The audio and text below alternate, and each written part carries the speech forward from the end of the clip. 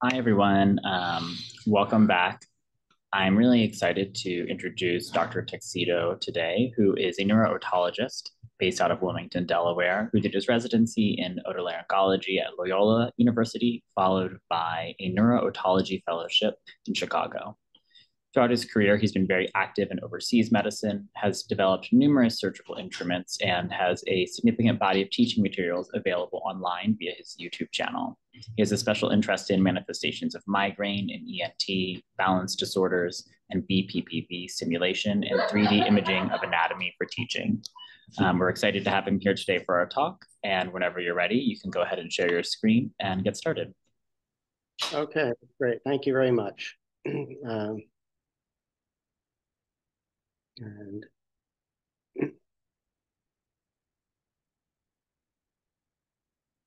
and go to presentation. All right. well, thank you very much. It's a pleasure to be here with everyone.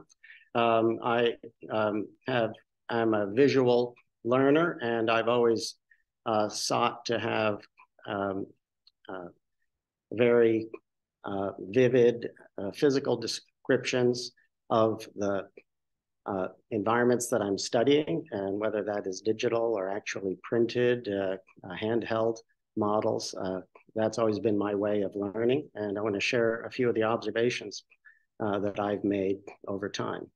These, for example, are otoliths that are printed using real otolith uh, anatomy, uh, morphology. You can see how they fall in a very peculiar way.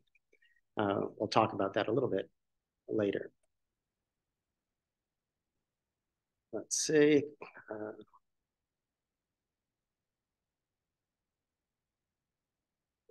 so um, Edward Muybridge was a, uh, a, photographer in Britain, and he uh, developed a, a, method of motion capture that unlocked uh, physical phenomena that were happening just too rapidly or too simultaneously for us to fully understand. And his uh, images of horses running, of men walking, people sitting up, uh, really uh, enhanced the, uh, the study, not just for art, but for uh, medicine and, um, and was a conceptual basis.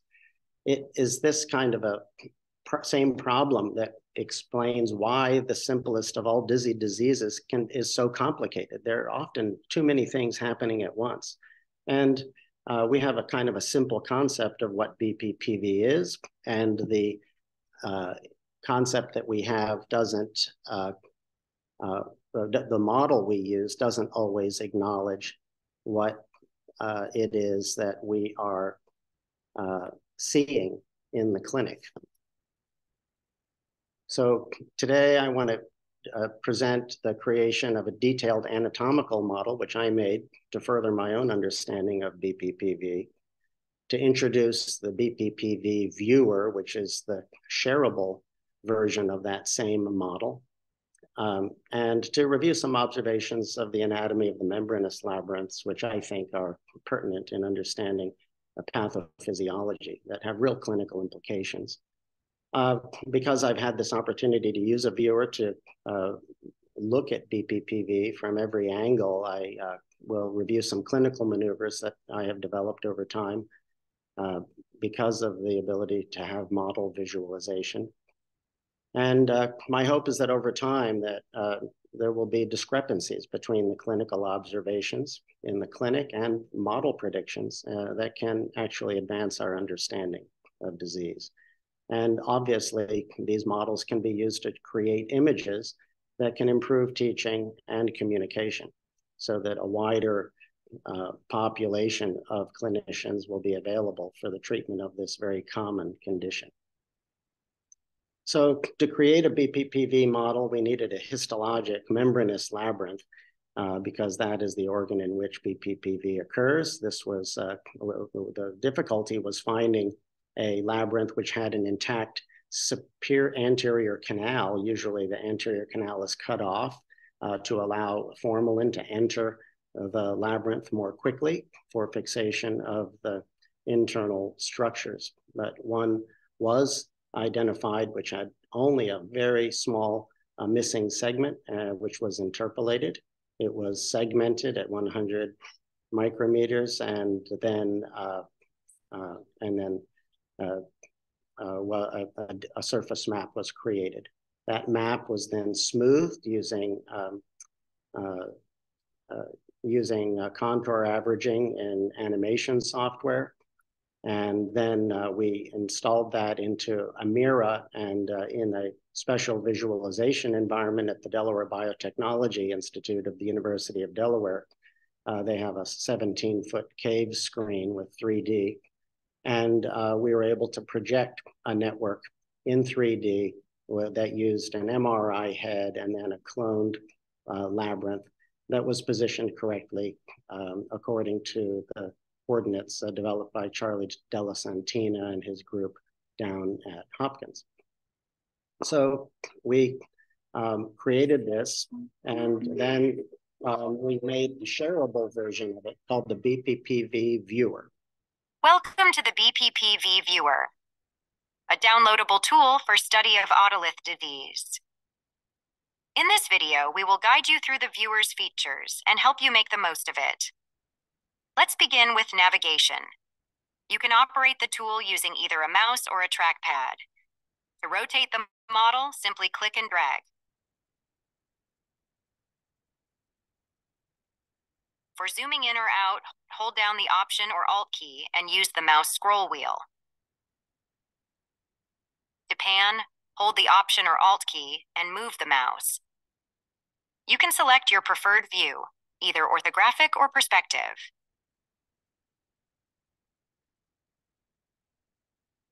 On the top right side, you'll find the navigation tool, which allows you to rotate the head at specific angular increments around the X, Y, or Z axes, as well as around the RALP and LARP planes. To use this tool, hover your mouse over the plane of interest and scroll. This tool is particularly useful for locating head positions commonly used in diagnosing and treating BPPV. The deviations along the X, Y, and Z axes are displayed at the bottom of the screen. Clicking the head in the tool will reset it to the starting position. You have the option to choose from five different background colors.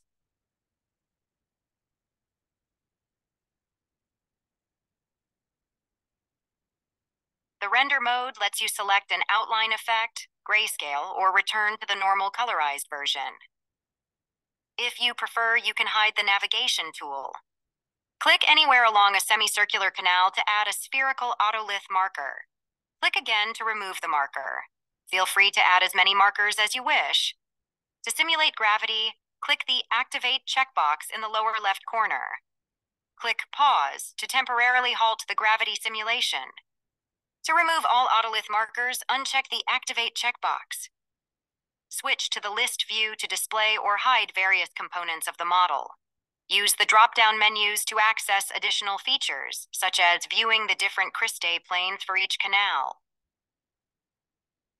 For a simpler view of the models, click the X button in the menu options to hide all menus. This concludes the BPPV Viewer walkthrough. You can download it for both PC and Mac at bppvviewer.com. Thank you for watching.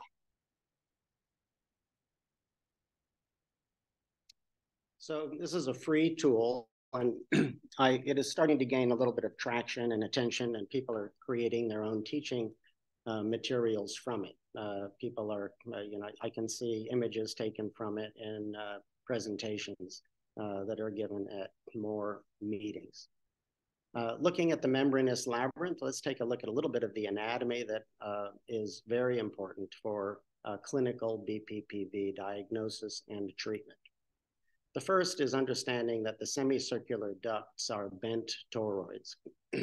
we uh, have various theories about why the bent toroid is helpful, um, uh, but in BPPV, uh, they uh, are particularly important, especially in lateral canal disease. And you, as you can see in the lower right, the lateral canal is the most bent of all of the toroids. This is the posterior canal bent toroid and the anterior canal bent toroid. We're all aware of the um, uh, posterior to anterior upward angulation of the lateral canal. And uh, the, the, most very importantly, the um, non-ampulated end of the lateral canal is lower than the ampulla of the lateral canal, giving approximately an 18 degree upward angulation from side to side. Uh, this is very important because it likely uh, uh, allows uh, self-emptying of this most easily loaded of the semicircular ducts. The lateral duct um, can be divided into three uh, segments by the bent toroid uh, configuration by identifying the anterior and posterior inflections. This divides the canal into an anterior segment, an intermediate segment, and a posterior segment. Otoliths, which are in each of these segments, actually are have clinically different behavior uh, that are very important for us clinically. Obviously, uh, otoliths in the anterior segment give rise to apogeotropic forms of canalithiasis. Uh, most disease is intermediate segment disease, which gives rise to geotropic canalithiasis. And posterior segment disease um, is self-emptying, and uh, I call this pseudo-orthostasis. These are patients who get dizzy exactly one time a day. It's when they rise from lying down at night. They, they sit up at the side of the bed, look at their feet, get dizzy one time, but we cannot repeat it in the clinic.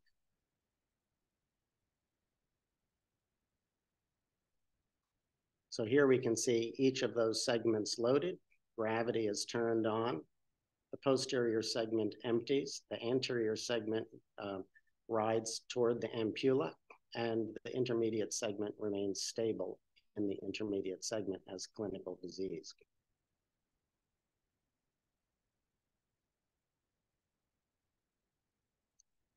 Um, another observation is the um, anterior to posterior elongation of the posterior semicircular duct.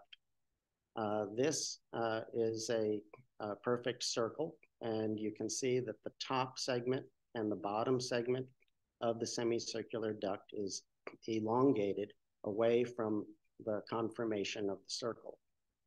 Uh, you can see this better on the actual histologic uh, reconstruction in which the circle is imposed and we can see the elongation of the floor of the posterior duct and on the roof of the, of the posterior duct.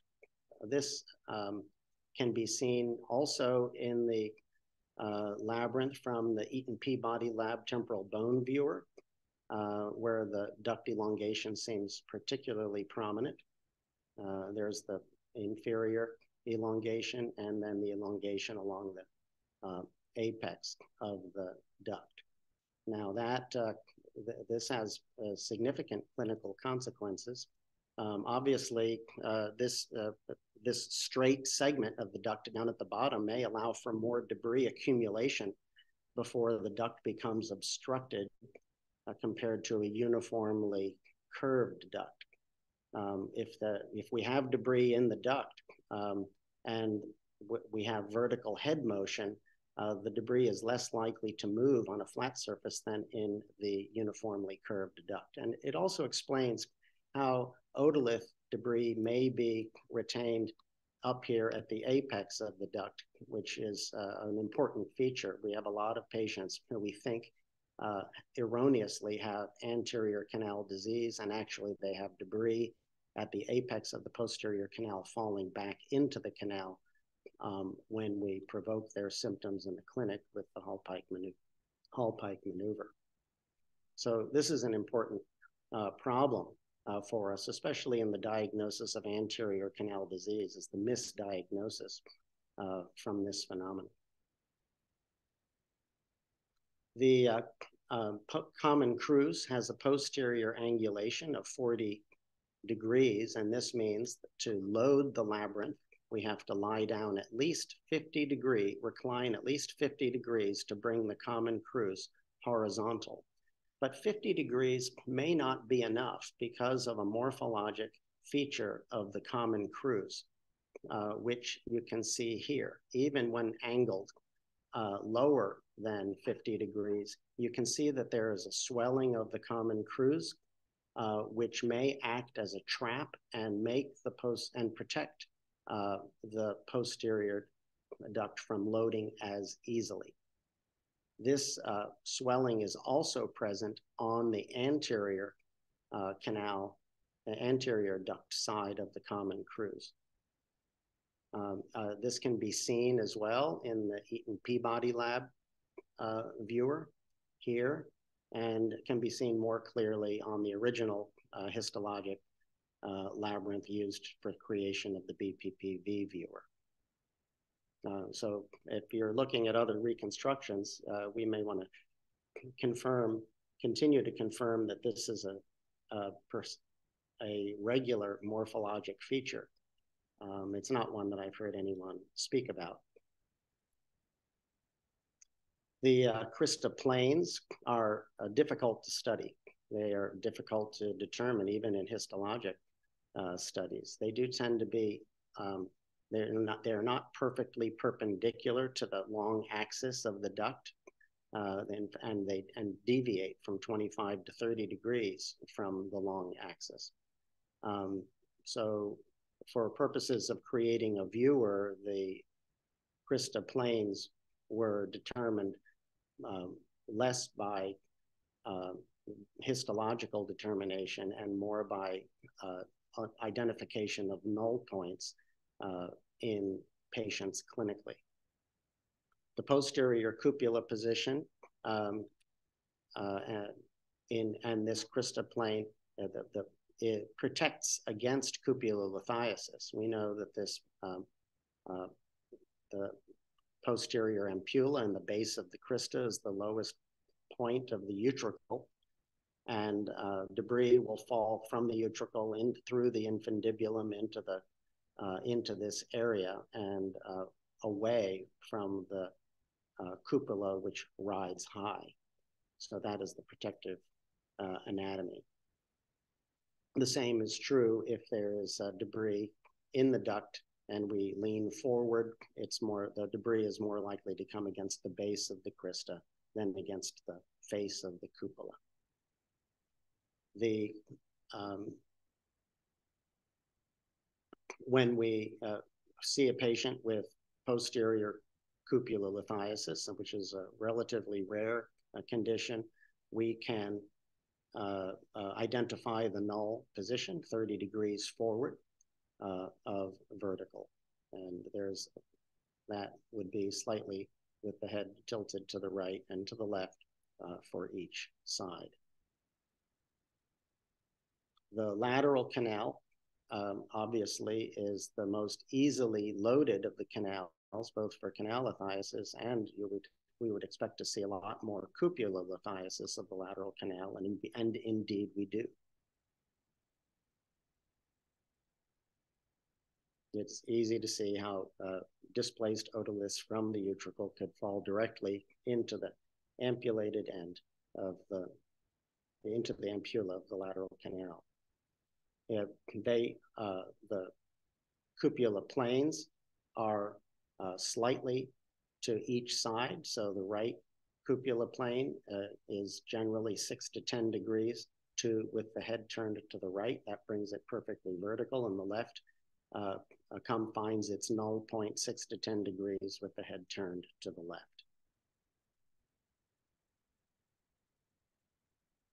Um, we often experience after a re successful repositioning maneuver that patients will have uh, two phenomena. One is the uh, uh, downbeat nystagmus because the anterior canal has been partially loaded, but often they'll have ataxia as well. And uh, many people say, oh, well, it's obvious that things fall down onto the macula of the utricle. But I want to make sure that we can see here that the common crus is actually fairly far away from the utricle. And um, so there must be significant, with the head tilted forward at the end of a canal repositioning, uh, then the uh, common crus is in a more vertical position and uh, loading the utricle would require significant lateral dispersion of these otoliths as they fall out of the common crus. And this indicates some uh, phenomena of the manner in which otoliths fall that I um, haven't seen described. Most patients, um, most clinicians don't lean the head forward. They just have the patient sit straight up. And in this case, the common crus empties in a position that's lower, lower in the utricle than the uh, macula. And uh, we would not expect uh, so much cupula uh, otolith loading, macula loading. So this is something to consider.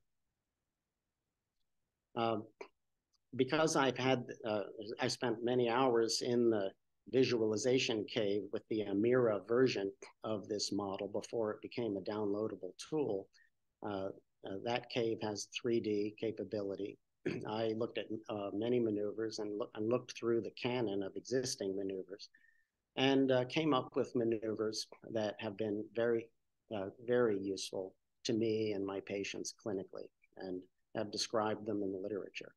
They uh, include the expanded Dix-Hallpike maneuver, modifications of Brandt-Daroff exercises for lateral and anterior canalithiasis, a rapid sit-up maneuver for bilateral posterior canalithiasis, and even unilateral, uh, because this seems to be easier to perform than a um, than a Semont in a large patient, and um, something called the short CRP for anterior canalithiasis. So I'm going to go over these along with some other observations. So the Dix-Hallpike maneuver is the foundation for diagnosis of BPPV. It was this illustration in the 1952 paper that demonstrated that the head and body could be uh, moved en masse into the provocative position without any head on body turning. This dispelled the idea that uh, BPPV was a dangerous manifestation of vertebral basilar insufficiency brought on by uh, head turning.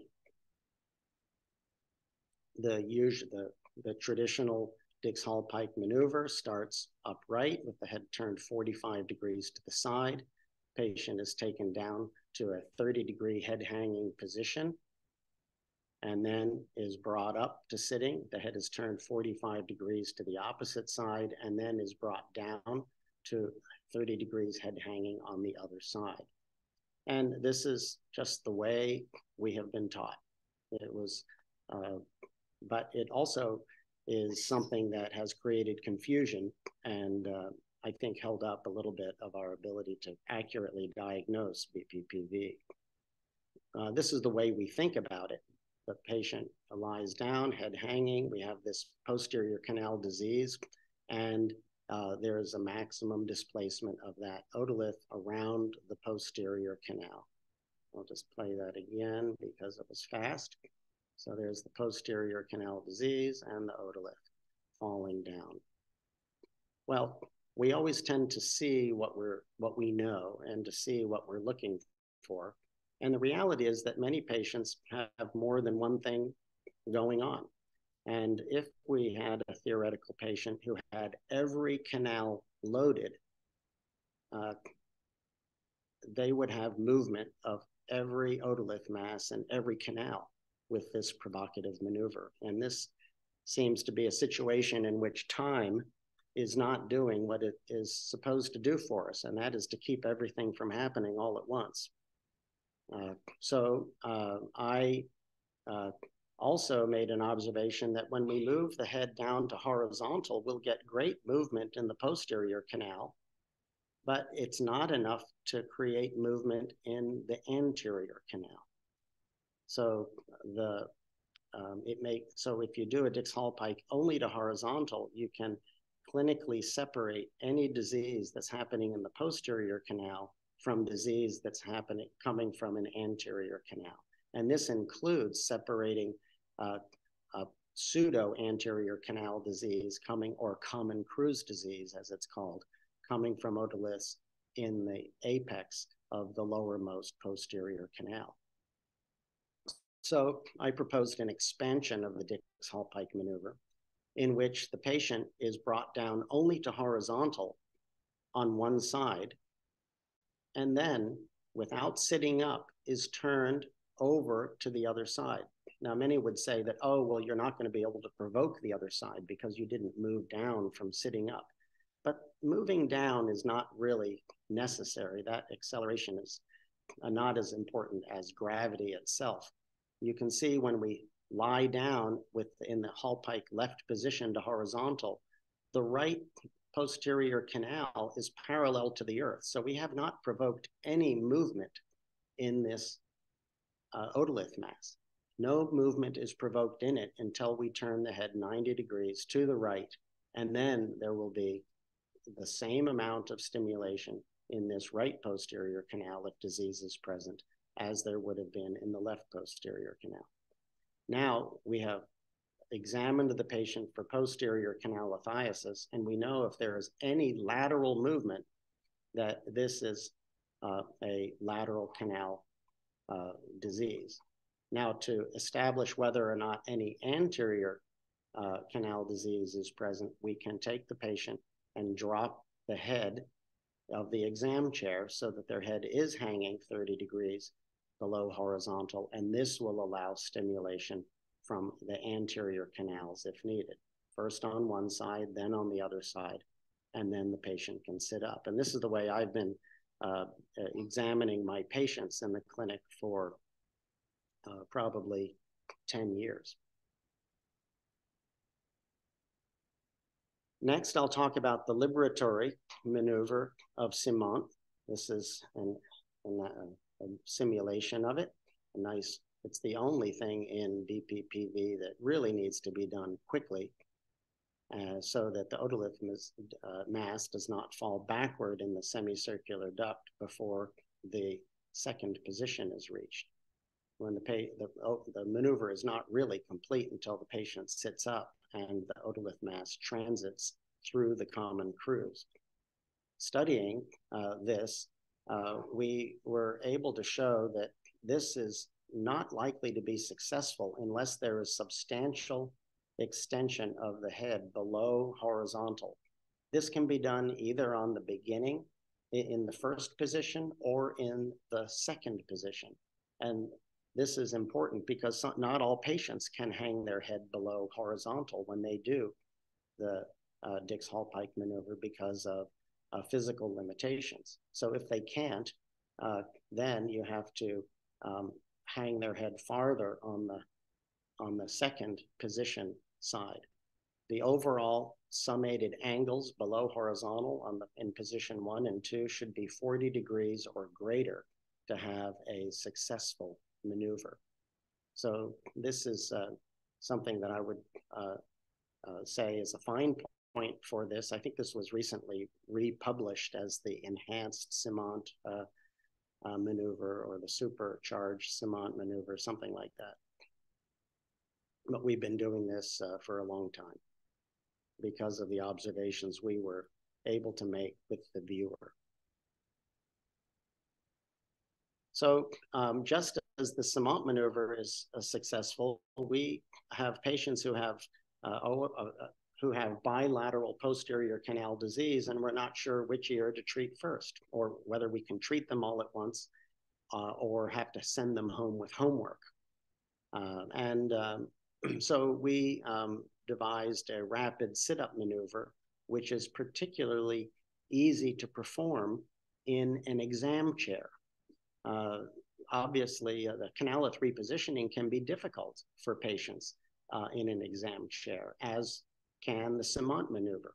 But a patient with bilateral posterior disease, even a large patient, can lie down with their head extended. Otoliths will fall down in both sides to a new position, and then we help them to do a rapid sit up until their face is, is parallel to the floor. They achieve this by spreading their legs astride the chair like sitting a horse in this second position. And then they hold that position for a minute to allow the otolith mass to fall to the common crus before sitting up to complete the maneuver. So this is something that we're collecting patients to uh, write a clinical report. We have not published this uh, uh, descriptive uh, version, but probably should. Now, Brandt Daroff exercises are the are one of the uh, foundations of treatment. Uh, they uh, they work uh, pretty well, but it takes a lot of time and commitment for the patient to perform Brandt Daroff exercises. It takes about three weeks of home Brandt Daroff exercises to equal a well performed canalith repositioning uh, treatment uh, in the clinic. Um, uh,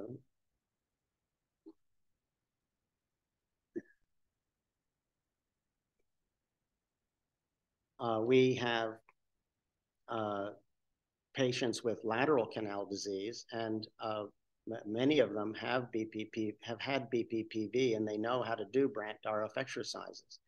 So we looked to see, is there a way to modify Brandt Daroff exercises that would make them more effective for lateral canal disease? And indeed there is. So this is a patient with right lateral canal lithiasis and in the intermediate segment. And let's see. And we'll just show that if the patient performs a Brandt Daroff exercise but does not turn the head upward away from the floor, we can provoke much uh, larger fall around the circumference of the canal. It's a little hard to see. Um, uh, than if the patient were turning their head upright. So this actually creates 90 degrees more movement around the circumference of the canal than um, a and is more effective than traditional Brandt Daroff exercises for patients who have lateral canal lithiasis. And if you know the side of the lateral canal lithiasis, when they reach the lowest point on that side, I have them turn their head toward the floor and then back up to empty the canal before uh, proceeding. And in this way, they're doing a Gufoni maneuver again and again. So this has been useful, and this is something that we uh, published and uh, we that we prescribe for our patients. Now, a lot of uh, of people who are beginners in BPPV get flummoxed when they are confronted with apogeotropic lateral canal lithiasis, and uh, uh, they worry a lot about it. And this is because there is a um, uh, in the literature, the apogeotropic uh, disease is not clearly uh, separated into canal lithiasis and cupulolithiasis. But what I have uh, told people is that you don't need to worry about it. If it's cupulolithiasis, it will be consistent and long lasting, um, and the response will have a null point. And uh, but if it's canal lithiasis, you don't have to do any special maneuver you're going to do the supine roll test just like any other patient. The only difference is that you have to really help the patient turn all the way to a lateral position in the supine roll test on each side. By doing so, anterior segment apogeotropic canalithiasis will be converted reliably to geotropic, uh, as you'll see. So this patient has a left anterior um, segment lateral canal lithiasis, apogeotropic disease. And we're going to do a supine roll, but all the way to horizontal. So this sometimes means the patient has to be assisted uh, to roll up onto the side. But you can see that this converts the uh, disease into more identifiable geotropic disease, which we are uh, more easily able to identify uh, and treat.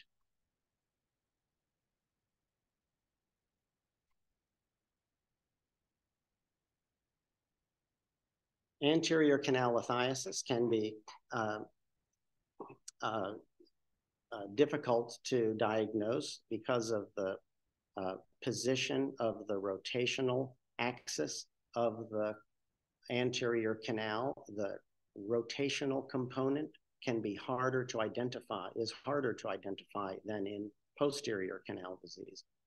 Uh, we, uh, when we can identify the, uh, uh the side, we can easily treat uh, with the CRP uh, maneuver, but position, the, the, the traditional position with the head rolled toward the floor can be eliminated. It's, it's absolutely redundant. So we call this the short CRP maneuver. So this patient has right anterior canal disease. They're brought into the traditional head hanging Dix-Hallpike position. This provokes motion of the otolith mass from near the ampulla, uh, more toward the apex of the canal. They're, they rotate 90 degrees, and this brings the canal vertical and, um, and uh, ensures progression of the mass toward closer to the common crus. And at this point, no further rotation is helpful or necessary. they can simply sit up.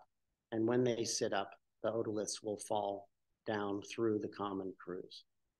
So this has been uh, published and is one of the simplest ways to treat if you're sure of the side of disease. Of course, um, even I, uh, with anterior canal disease, like the simplicity of the Yacovino maneuver, which was initially described with the head hanging. It's, it's a short version of the, of the prolonged forced position procedure. And you hang, hang the head for just a few minutes, and then with the head 30 degrees up uh, for three minutes, and then sitting up to complete the maneuver. But it seems that this intermediate position is not even necessary, as you'll see. So we propose a more efficient, uh, simple head hanging to move the otolith mass uh, past the apex of the canal. And once that is effective, the patient may sit up and the canal uh, should empty. So this is the simplest treatment and the simplest disease to treat in the office. And it's easy for patients to do at home if they have nice neck extension. Now, we love Brandt Daroff exercises. And I thought, well, what if there was a way to treat, to modify Brandt Daroff exercises? uh, so that uh, we could treat anterior disease. And indeed, there is, but the patient has to be able to hang their head below horizontal toward their shoulder um, to achieve a good treatment result. This is really a Brandt Daroff modification of the Rahko maneuver, which was a side lying position with the head hanging toward the shoulder. And uh, but when we are going to have patients go home and do a repeatable maneuver, we can teach them how to do this with the head hanging and uh, anterior canal disease can be effectively treated. So uh, Brandt Daroff exercises figure heavily in my treatment paradigm. Now, um, it, going forward, the um, we hope to continue to improve the BPPV viewer. We are uh, ready for updates and we're open to suggestions for what you users might like to see in it. Obviously, we'd like to add eye movements. Uh, we would like to um, add motion capture so that you can uh, easily create videos of your own. We'd like to see the, um, the labyrinth be transparent and make intraluminal otolith markers uh, that uh, make a, a more physiologic appearing uh, simulation although we didn't do that initially because they, um, they were too difficult to see um, uh, and required too much study. The uh, larger otolith markers were vivid and easy. And finally, with uh, we are now uh, uh, early developers using Apple AR glasses with, and we have patent protection in the US and Europe for use of the uh, AR glasses so that it will identify facial anatomy and position visible labyrinths uh, with movable otoliths uh, around any patient's head. This way, once we confirm their diagnosis, we can add an otolith marker at its expected position and treat the patient, but also um, treat the labyrinth model uh, by moving the patient uh, uh with gravity. Uh, to, and we think that this will be a, an excellent training tool and may have um, a clinical application and help improve the effectiveness of maneuvers that are performed by the army of, uh, of primary care physicians and physical therapists who most of these patients depend on for treatment. Obviously, we are few in number. Uh, otolaryngologists, neurologists, otoneurologists, compared to the army of physical therapists. And unfortunately, the competency among them is low. This kind of a tool, I think, can improve competency and uh, improve our ability to manage this very common disease. Now, giving patients homework um, is uh, always a little difficult. And uh, especially uh, patients have a very difficult time translating printed instructions into accurate maneuvers. So I have made this homework sheet, and you, I would encourage you to make your own. Uh, this, uh, these are all video links to different maneuvers. You know, Brandt Daroff. This is how to understand BPPV in one minute. Brandt Daroff exercises, Canalith repositioning for the right, for the left, uh, the modified Brandt Daroff exercises, and so on. So if I give someone homework, I say, "This is your homework." I write in this box uh, uh, do two times a day for a week. And uh, I haven't had any problem. Everyone has family members who can show them how to use these QR codes if they're not familiar. And this has been a big enhancement uh, for patients. Now, the other thing I need to do is to help enhance the competency of the physical therapists who many of these patients see. And um, so I've been able to use the illustration capacity of the viewer to create clear illustrations of how all of these maneuvers uh, in a small cannon are to be performed. So this is an outline of posterior canalithiasis, of lateral canalithiasis treatment, and anterior canalithiasis treatment. And this helps develop the competency of the of the clinicians and to give them options. So if one patient, if, if one uh, sequence isn't working or is not accessible to a patient because of physical limitations, that then they can um, uh, find another option that that can be performed by that patient. Now, one of the things that has occurred to me over time is that we really don't know very much about otoliths. uh, and uh, we certainly always talk about how we, we about how far they move. If you rotate 90 degrees around the axis of a of a canal of a duct, do they really fall 90 degrees? Uh, we're not sure. And when do they start falling? Uh, the angle of repose is a concept that I think is very applicable here, and that's the maximum angle at which an object can rest on an inclined plane without sliding down, and that is a, uh, has to do with the friction between the particle and the plane but it also uh, has to do with how a particle interaction itself, every material has its own angle of repose.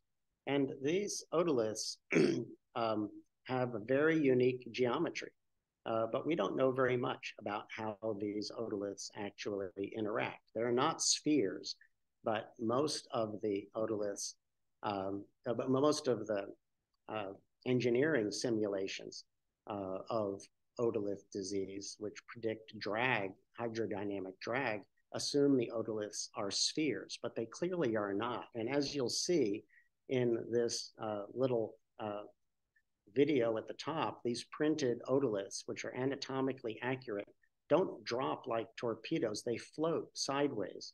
And the uh, rhombohedral faces uh, seem to keep them from rotating. These are hexagonal um, rods. And you can see this is one face, a second face, and a third face. And these are the rhombohedral faces.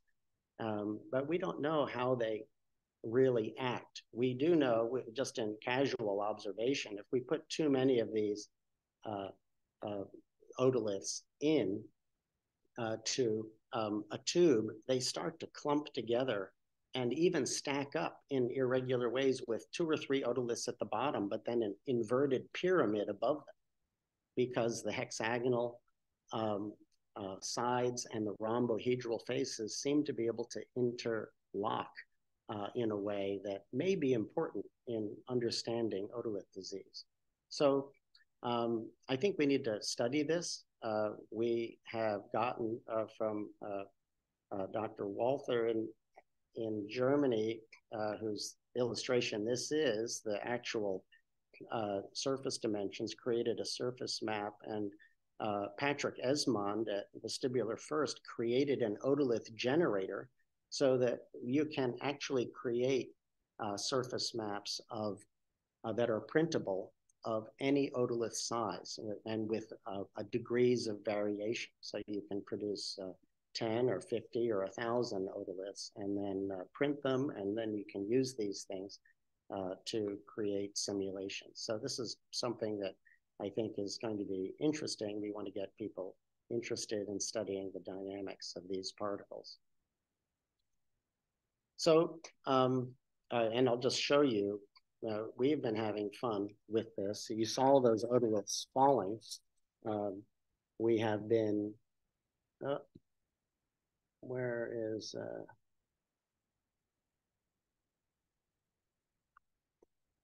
you can see that we are you know, you can print these otoliths. This is um, a lot of them that are like the ones falling through the fluid. You can print them in different densities. Um, as you get them bigger, you can you can see the hexagonal rod shape and the rhombohedral faces. Uh, you can see how uh, you can get them bigger and bigger. You can see how these faces are parallel to one another on opposite ends of the of the crystal. And um, I, we encourage people just to have fun with it. Uh, we've had, we have had fun with it. This is actually a regulation size otolith. Uh, Michael, I don't know if we're seeing the same thing you are. We're still seeing the vestibular first otoconia generator. Is that what you were oh. showing us? Oh, can you see me? Let me just, I, I was doing a demonstration. I was holding some things. Oh, okay. You were holding them up in the Sorry. Yeah. So can you see me now? Yeah, got you. Okay, good. So anyway, we're showing how you can print these smaller otoliths and uh, that, but, but holding physical models helps you to really make observations. So these are um, very interesting to look at. You can see the hexagonal rod form, the rhombohedral faces, and uh, I was just showing how much fun we've been having making even regulation size otoliths uh, that you can make with the Otoconia generator. So th that's a free thing that uh, Patrick Esmond made, and um, we encourage people to play with it. Can you throw a tight spiral with that? Um, it is dangerous to catch.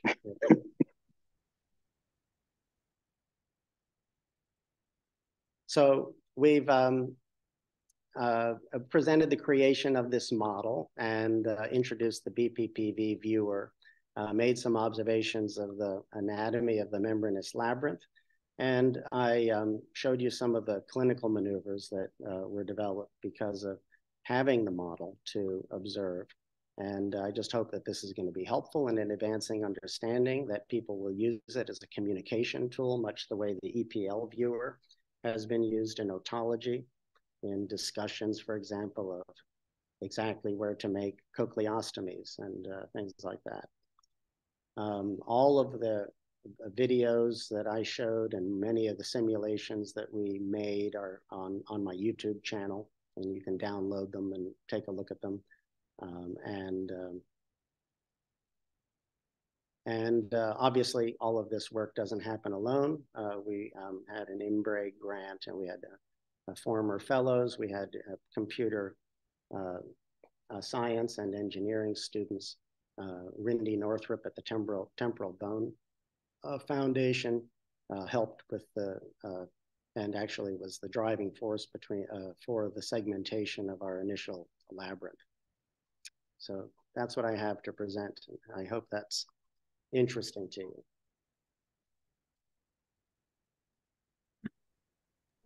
Well, that was uh, that was just mind opening, over the top. terrific. Um, so we've got time for questions, uh, which is good. I'll just John Lee wanted to know uh, something about the variability of the orientation of the cupula, the canals. How much would this variability um, affect your interpretations of uh, the clinical presentation and treatment? Um, well, I don't know if there, uh, I think the variability could be within a few degrees. Uh, I think most, most uh, studies show that the canals are very, very closely orthogonal within an individual. It's the positioning within the uh, within the head and relative to Reid's plane that can vary because of the uh, uh, just differences in morphology. The canals uh, and and the falling of otoliths around the circumference of the canals really uh, function as you know are really dominated by a tangent function. So a few degrees off uh, probably doesn't change things very much. I think.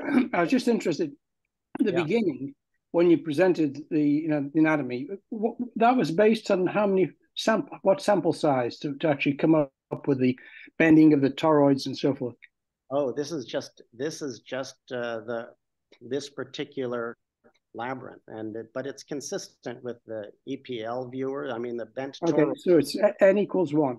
Now has been shown. I think almost everyone who has published papers uh, with their own segmented membranous labyrinths has the bent toroid shape uh, uh, represented. So I think this is a, a clinically very important. And how variable are the otoconia? Uh, there's a big variation. They can be short, they can be long, but they have a particular uh, uh, structure that uh, uh, is very dense, a calcite that radiates from a central point and which terminates in the rhombohedral faces at the ends of the otoconia. But then that is filled, so this is like two ice cream cones that are connected by a point deep inside. And then the space in between is filled with more porous uh, calcium and protein.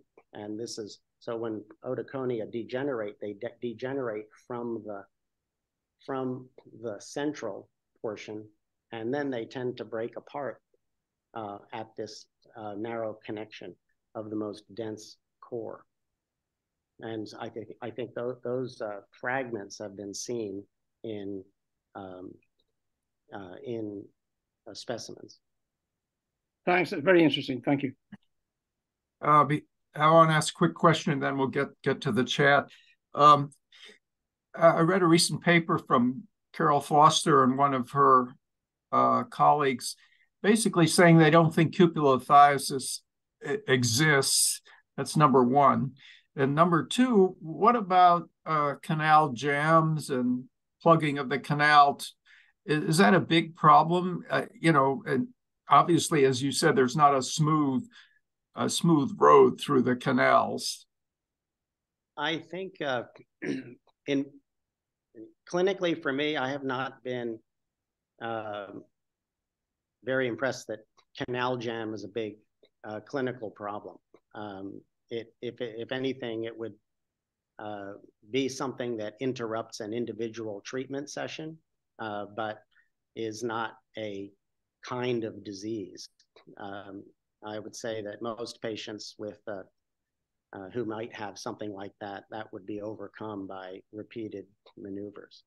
Now, cupulolithiasis, um, I'm familiar with uh, what you're mentioning, the, uh, this, this notion that cupulolithiasis may not exist, but it's really difficult to uh, conceive that um, it doesn't exist when you have patients uh, who have a null point and reversing the nystagmus on opposite sides of that null point that corresponds to the action of that particular canal. Um, I'm not sure I understood what her uh, I think, I think they they suggested this was due to canal jams uh, and plugs. In, in, in other words, making a cupula somewhere else. Oh. Um, yeah, go ahead. Yeah. Um, well, that's interesting. And if so, then that would be, uh, um, uh, I, I, guess that's an open question.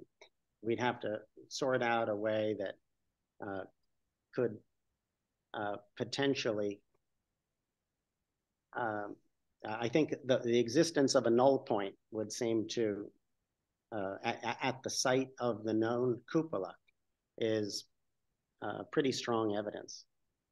Uh, it may, maybe that other phenomena actually does exist sometimes, but I don't think I've seen it. I don't know. Have you? Uh, not sure. Okay, so uh, Rick Rabbitt wants to show a movie, and is let's do that right after Dave Newman Toker's question.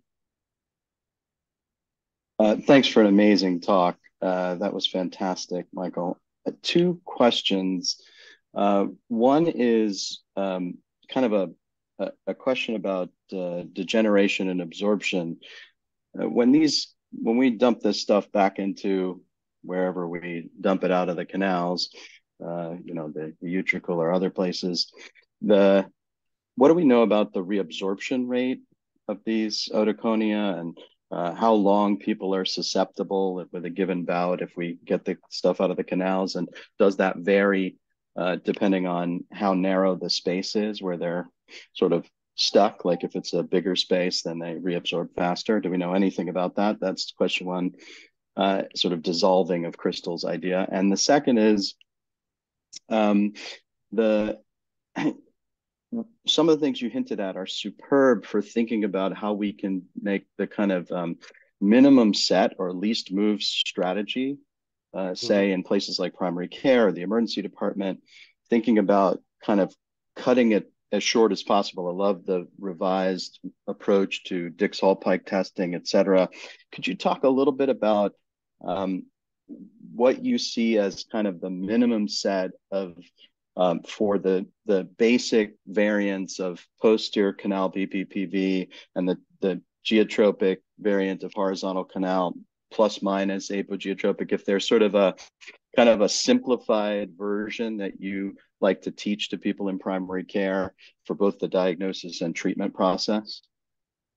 Yes, I, uh, I, I, I, am really interested in that. Um, I don't know very much, and I don't know how much really is known about the actual um, rate of absorption or turnover. There is even some controversy about whether or not there is uh, actual uh, significant regrowth of new otoconia uh, and turnover of otoconia in man. Uh, uh, so uh, I know that there are notions and evidence of pinocytotic re-ingestion of, of otoconia by dark cells at the base of the posterior crista, where and and in the dark cells surrounding the macula of the utricle, but I haven't, um, I'm, I'm, not up to date on any uh, new concepts in those areas. As far as efficiency of disease, um, I would say the, uh, the, I use the expanded Dix-Hallpike maneuver, and then I would have a kind of, uh, of, clinic treatment one for normally mobile individuals and one for immobile. And usually that means obese individuals um, for posterior canal disease, for lateral and anterior. And then a home version, some homework, uh, one best homework to do for each of those. And so um, I you teach the expanded Dix-Hallpike maneuver, like, can you? Once that's there, I, I, I, if a patient is large uh, in the clinic, I like the CRP, and if they are, uh, uh, if they're, but if they're large and immobile, we do the rapid sit-up maneuver because that can be done in the exam chair. Then we can send them home with um, Brandt Daroff exercises. This gives them a sense of control over their disease and less dependence on the uh, healthcare system uh, if they have recurrent disease. And many of these patients, as you know, do recur.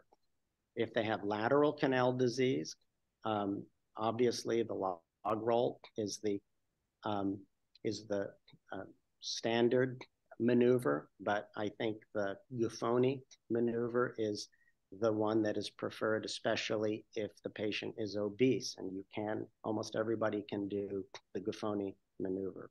And then at home, they can do the lateral modification of Brandt Daroff exercises.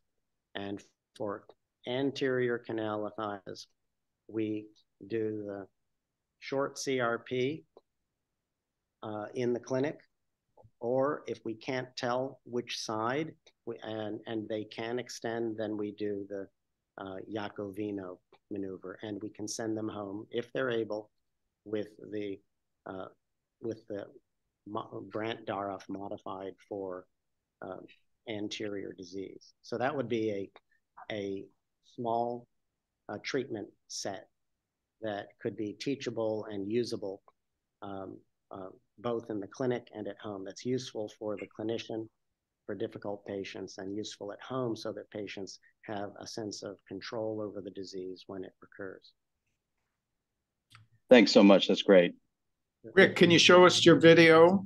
Michael, that was that was just a fabulous talk. Um, I do have a little video I thought you might find interesting, especially with respect to how the canaliths might reposition as they're sedimenting. Um, I think to do it though, I have you have to stop sharing. Yeah, let me do that. Um, I'm gonna stop share. Okay. Okay, let's try this.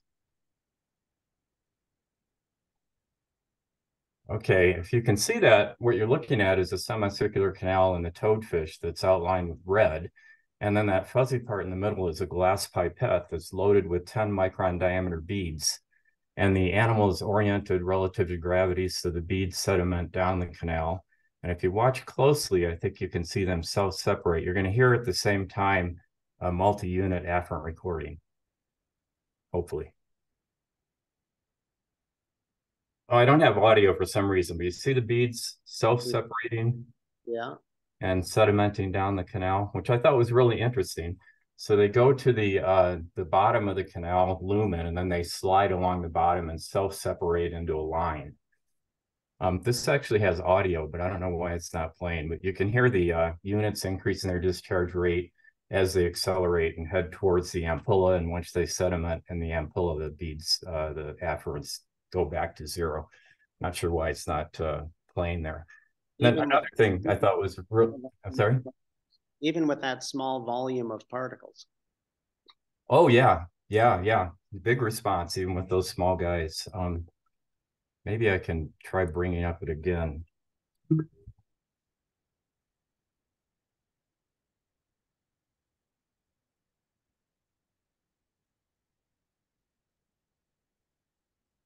Well, we're we're over on time, Michael. So I'll I'll send you a copy of that if you're interested in it. Oh, with, I love that. Yeah, that with the video. I mean, with the audio. Thanks for sharing that. Yeah. Well, I think um, this was great, um, and I've used the viewer, and it's really nice way to kind of get some sense of what's going on. But I would like to just finish with saying what Michael said at the very beginning, that this is the most complicated disease that I know of in terms of understanding it. But it's the best disease because you make patients so happy without any other tests. So thanks a million. Looking forward to uh, that upgrade of your viewer and publish all that stuff so we can all use it. Yeah, gotta stop having so much fun in other places. Well, I, I won't tell you how to lead your life, but uh, all right. Thanks a lot, everybody. We'll see you next week. It's great work. Thank you for joining us. It was fantastic. Thank you. Okay. Thank you. So that was so.